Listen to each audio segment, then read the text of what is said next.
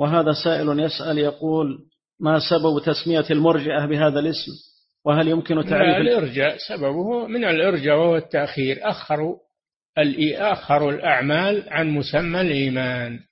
أخروا الأعمال عن مسمى الإيمان فسموا بالمرجئة. من الإرجاء وهو التأخير. نعم.